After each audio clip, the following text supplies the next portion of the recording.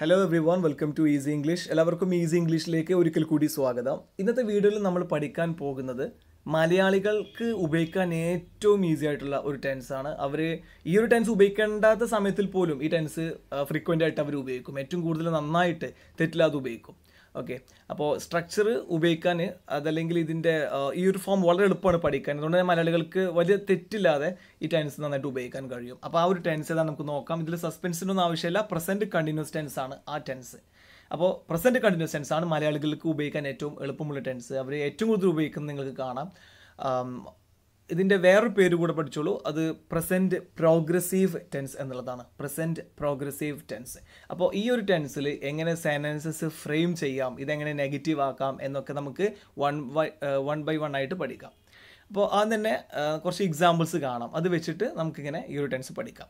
അപ്പോൾ ഇതെല്ലാം നോക്കൂ. ഇതെല്ലാം പോസിറ്റീവ് സെനൻസ് ആണ്. അപ്പോൾ അതിനെ അഫർമേറ്റീവ് സെന്റൻസസ് എന്നും പറയാം. അഫർമേറ്റീവ് സെന്റൻസസ് എന്ന് പറഞ്ഞാൽ അതിൽ നോട്ട് ഇല്ല എന്ന് കാണിക്കുന്ന ആ ഒരു അതിനെ സൂചിപ്പിക്കുന്ന അതായത് നെഗറ്റീവ് ആവില്ല. നെഗറ്റീവ് സെന്റൻസ് അല്ലാത്തതാണ് അഫർമേറ്റീവ് സെന്റൻസ് നോട്ടോ അല്ലെങ്കിൽ neither nor hardly scarcely rarely തുടങ്ങിയ ഇല്ല എന്ന് കാണിക്കുന്ന ആ, ഒരു കാര്യങ്ങളൊന്നും ഇതിലുണ്ടാവില്ല അതുകൊണ്ടാണ് ഇതിനെ അഫർമേറ്റീവ് സെന്റൻസ് എന്ന് പറയുന്നത് പോസിറ്റീവ് സെന്റൻസും എന്നും ഇവയെ വിളിക്കാം.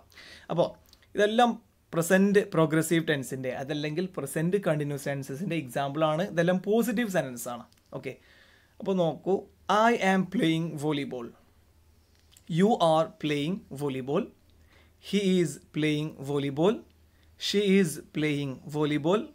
It is playing volleyball. We are playing volleyball.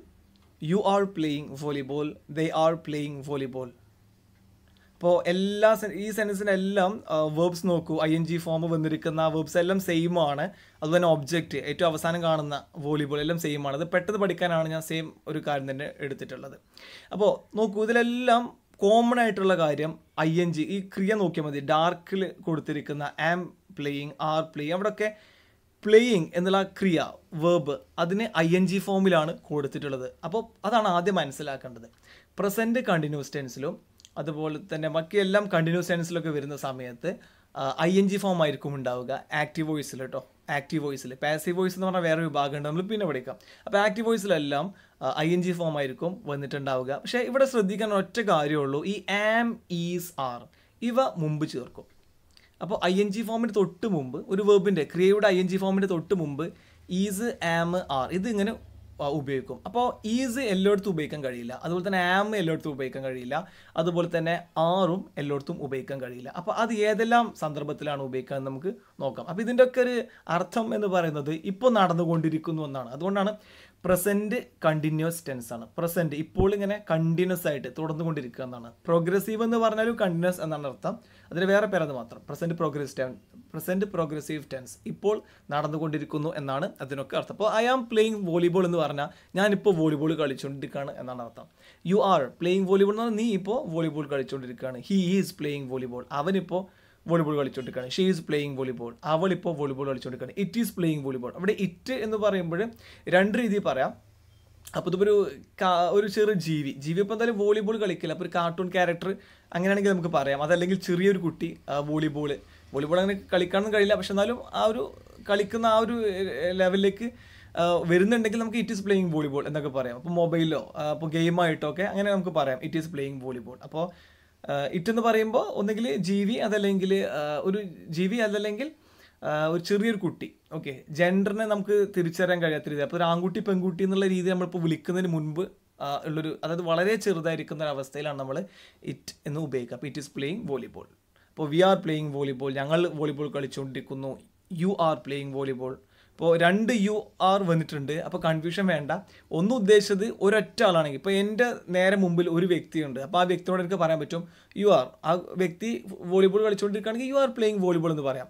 അതോടൊപ്പം തന്നെ അവിടെ ഒരുപാട് പേരുണ്ട്. ഇംഗ്ലീഷിൽ ഒരാളാണെങ്കിലും ഒന്നിലധികമാണെങ്കിലും നിങ്ങൾ എന്നുള്ളതിന് യു എന്നേ ഉള്ളൂ. അർത്ഥം നിങ്ങൾക്ക് അറിയാലോ. ആ ഒരു കാര്യം മനസ്സിലാക്കണം. ഒരാളാണെങ്കിലും ഒന്നിൽ കൂടുതലാണെങ്കിലും ഇംഗ്ലീഷിൽ യു എന്നാണ് പറയുക. നിങ്ങൾ എന്നുള്ളതിന്. ഇപ്പോൾ മലയാളത്തിൽ നിങ്ങൾ ഒരു വ്യക്തിയാണെങ്കിലും ഒരുപാട് പേരുണ്ടെങ്കിലും ഇംഗ്ലീഷിൽ അതിന് പകരമായിട്ട് നമുക്ക് യു ആണ് ഉള്ളത്. ഓക്കെ അപ്പോൾ you are playing volleyball they are playing volleyball our volleyball കളിച്ചുകൊണ്ടിരിക്കുന്നു. അപ്പോൾ ഇതിനൊക്കെ അർത്ഥം ഇപ്പോൾ നടന്നുകൊണ്ടിരിക്കുന്നു എന്നുള്ളതാണ്. അപ്പോൾ ഇതെങ്ങനെയൊക്കെയാണ് ഉപയോഗിക്കാൻ നോക്കാം. ഇതിന് മുമ്പ് ഇതിന്റെ സ്ട്രക്ചർ ഒന്ന് മനസ്സിലാക്കണം. She is having her breakfast ഒരു എക്സാമ്പിൾ ഇവിടെ കൊടുത്തിട്ടുണ്ട്. She is having her breakfast അപ്പോൾ അവളിപ്പോൾ അവളുടെ ബ്രേക്ക്ഫാസ്റ്റ് പ്രഭാത ഭക്ഷണം കഴിച്ചുകൊണ്ടിരിക്കുകയാണ്. അപ്പോൾ അതിൽ സബ്ജക്റ്റാണ് നമ്മൾ ആദ്യം ചേർത്തിട്ടുള്ളത്. ഇതിന്റെ സ്ട്രക്ചറാണ് നമ്മൾ ശ്രദ്ധിച്ച് പഠിക്കുക. ഈ ഒരു സെന്റൻസിന്റെ സബ്ജക്റ്റ് എന്ന് പറയുന്നത് ഷീ ആണ്. ഷീ സബ്ജക്റ്റ് ആണ്. പിന്നെ അതിനുശേഷം ഈസ് ആം ആർ ഈ മൂന്ന് ഇത് മൂന്ന് ഓക്സൽ വെബ്സ് ആണ്. ഇതിലേതെങ്കിലും ഒന്ന് ചേർക്കണം നിർബന്ധമാണ്. പ്രസന്റ് കണ്ടിന്യൂസ് ടെൻസിൽ ഇതിലേതെങ്കിലും ഒന്ന് ചേർക്കണം. അപ്പോൾ ഇവിടെ ഈസ് ആണ് ചേർത്തിരിക്കുന്നത്. കാരണം ഷീ എന്ന സബ്ജക്റ്റിനോട് കൂടെ പോകുന്നത് ഈസ് മാത്രമാണ്. അതുകൊണ്ട് ഈസ് ചേർത്തു. ബാക്കിയുള്ളതൊക്കെ എങ്ങനെയാണെന്ന് നമുക്ക് വഴിയെ പഠിക്കാം. അതിനുശേഷം വേർബ് ക്രിയയുടെ ഐ എൻ ജി ഫോമാണ് ചേർത്തിരിക്കുന്നത്. ഹാവിങ് ഇവിടെ ഹാവിങ് എന്നുള്ളത് വേർബിന്റെ അർത്ഥം കഴിക്കുന്നു എന്നാണ്. She is having her breakfast അവൾ അവളുടെ ബ്രേക്ക്ഫാസ്റ്റ് കഴിച്ചുകൊണ്ടിരിക്കുന്നു എന്നാണ് അർത്ഥം. She is eating her breakfast അതാണ് ഇതിന്റെ അർത്ഥം. She is eating her breakfast അതല്ലെങ്കിൽ she is having her breakfast ഇതിന്റെ സ്ട്രക്ചർ നിങ്ങൾ കണ്ടിട്ടുണ്ടാവും. ഷീ സബ്ജക്റ്റ് ആണ്. പിന്നെ ഈസ് എന്ന ഓക്സിലർ വേർബ് ചേർത്തു. പിന്നെ ഐ എൻ ജി ഫോം വേർബിന്റെ ക്രിയയുടെ ഹാവിങ് പിന്നെ ഹെർ ബ്രേക്ക്ഫാസ്റ്റ് അത് ഒബ്ജക്റ്റ് ആണ്. അപ്പോൾ എവിടെയാണ് ഈസ് എവിടെയാണ് ആം എവിടെയാണ് ആർ എന്നുള്ളത് ഇപ്പോൾ പഠിക്കാം. അപ്പോൾ ഐ എന്നുള്ള ഒരു സബ്ജക്റ്റ് വരുമ്പോൾ അതിന് ആം ചേർക്കുക അത് ആം എന്നുള്ള വേർബ് ആ ഒരു ഓക്സിലറി വേർബ് നിങ്ങൾക്ക് ഉപയോഗിക്കാൻ പറ്റുന്നത് അതിനോട് കൂടെ മാത്രമാണ്. ആ കാര്യം മറക്കരുത്. അപ്പോൾ I am I am eating my breakfast എന്ന് പറയാൻ പറ്റും. ഐ ആം ഈറ്റിംഗ് അല്ലെങ്കിൽ ഐ ആം പ്ലേയിങ് ക്രിക്കറ്റ് അങ്ങനെ പറയാം. ഹീ ഈസ് അപ്പോൾ ഹീനോട് കൂടെ ഈസ് ആണ്. ഷീ ഈസ് ഷിയോട് കൂടെ ഈസ് ആണ്. ഇറ്റ് ഈസ് ഇറ്റിനോട് കൂടെ ഈസ് ആണ്. വി ആർ നോക്കൂ വി വിയോട് കൂടെ ആറാണ് യുവിനോട് കൂടെ ആറാണ് അതിപ്പോൾ യു ഒരാളാണെങ്കിലും ഒന്നിൽ അധികം പേരാണെങ്കിലും നിങ്ങൾ നിങ്ങൾ ഒരു പേരാണെങ്കിലും ഒന്നിലധികം കൂടുതൽ പേരുണ്ടെങ്കിലും ആറാണ് പിന്നെ ദേ ആർ അവർ എന്നുള്ളതിന് ആറാണ് അപ്പോൾ ഈ ഒരു കാര്യം മനസ്സിലാക്കണം. അതുപോലെ തന്നെ സിംഗുലർ ആണെങ്കിൽ ഈസ് ആണ് വരിക. ഇപ്പോൾ ഗോപാൽ അതൊരു വ്യക്തിയാണ്. അതുകൊണ്ട് ഗോപാൽ ഈസ് പ്ലേയിങ് എന്നാണ് പറയാം. ഗോപാൽ ഈസ് പ്ലേയിങ് വോളിബോൾ എന്നോ Gopal is eating his dinner എന്നോ പറയാം. അപ്പോൾ അവിടെ ഗോപാൽ ഒരു വ്യക്തി അതുകൊണ്ട് ഈസ് ആണ്. അപ്പോൾ സിംഗുലറിനൊക്കെ ഈസ് ആണ്. പ്ലൂരൽ ബഹുവചനമാണെങ്കിൽ ഇപ്പോൾ ഗോപാൽ ആൻഡ്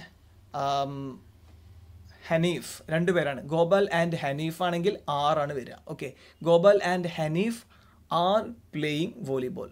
കണ്ടോ? അപ്പോൾ പ്ലൂറൽ വരുമ്പോൾ ആറാണ് സിംഗുലർ വരുമ്പോൾ ഈസ് ആണ്. പിന്നെ ഐനോട് കൂടെ എം ആണ്. ഹി ഷീ ഇറ്റ് ഈസ് വരും. പിന്നെ വി യു ദേ ഇവയോട് കൂടെ ആറും വരും.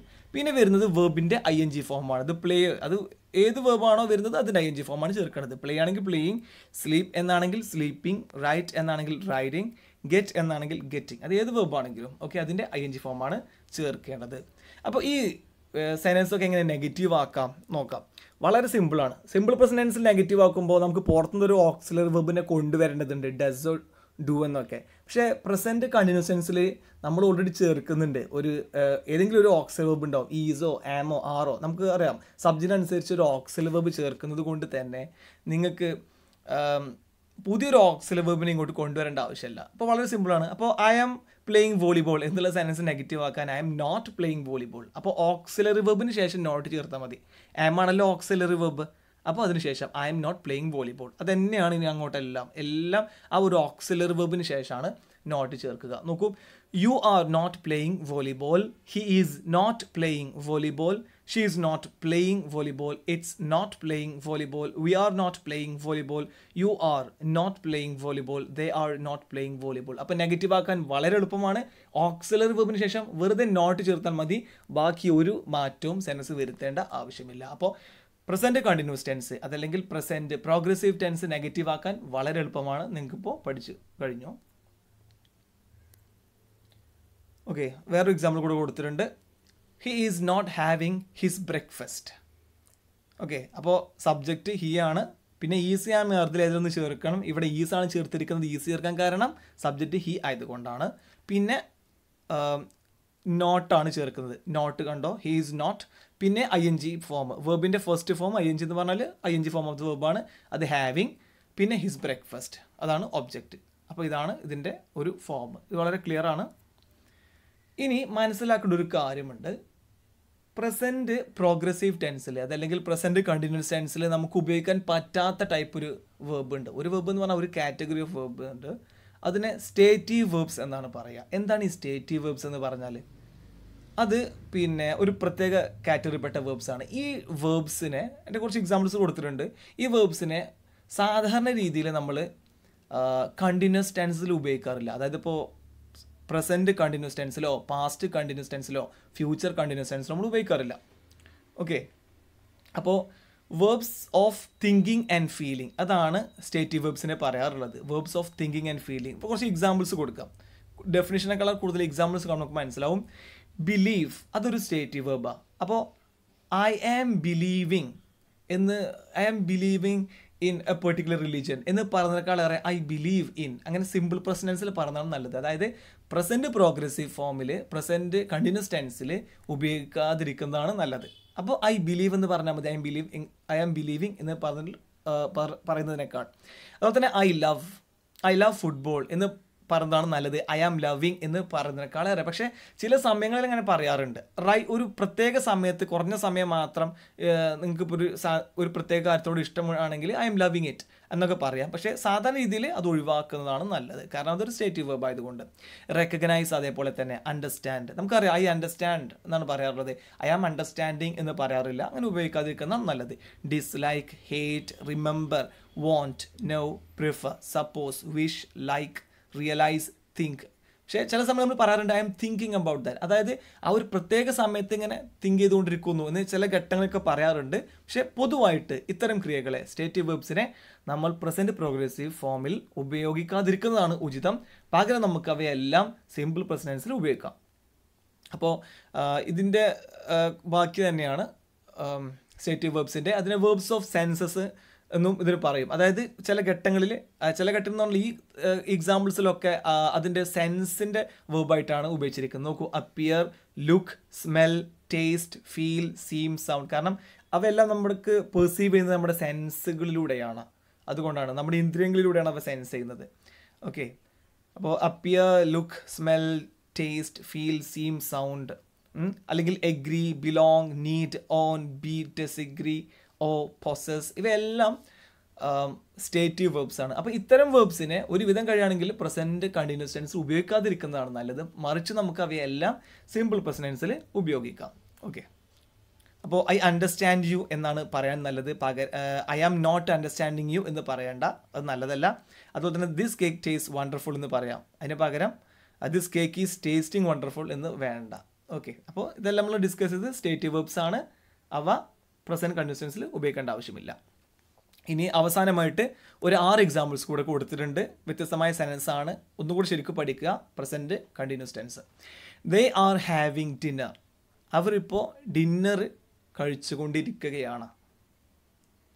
ഇറ്റ്സ് ഡ്രിസിലിംഗ് നൗ അത് ഷോർട്ടാക്കി ഇതാണ് ഇറ്റ്സ് എന്ന് പറഞ്ഞാൽ ഇറ്റ് ഈസ് ഡ്രിസിലിംഗ് നൗ ചെറുതായിട്ട് ഇങ്ങനെ മഴ പാറുക. അല്ലേ? ചെറുതായിട്ട് മഴ ഇങ്ങനെ പെയ്തുകൊണ്ടിരിക്കുന്നു. വളരെ ചെറുതായിട്ട്. അതാണ് ഇറ്റ്സ് ഡ്രിസിലിംഗ് നൗ എന്നാണ് അർത്ഥം. ഇപ്പോൾ നടന്നുകൊണ്ടിരിക്കുന്നു എന്നാണ് അർത്ഥം കേട്ടോ.